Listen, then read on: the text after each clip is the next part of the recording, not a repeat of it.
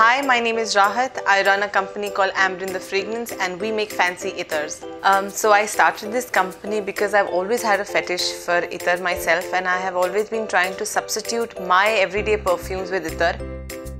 I started my team off with just three ladies and now currently we are seven and looking to expand. Um, so the first time I got featured in LBB, kind of response I got is not something I had expected, more than what I could have imagined. We uh, made a record for ourselves actually. We sold more than 1400 bottles and were able to generate a revenue of about more than 2 lakhs in just 2 days. The best part about being featured in LBB was that it's not just a one time uh, thing, an activity that happens for us. The excitement actually lasts really long. It's a, it's a complete domino effect.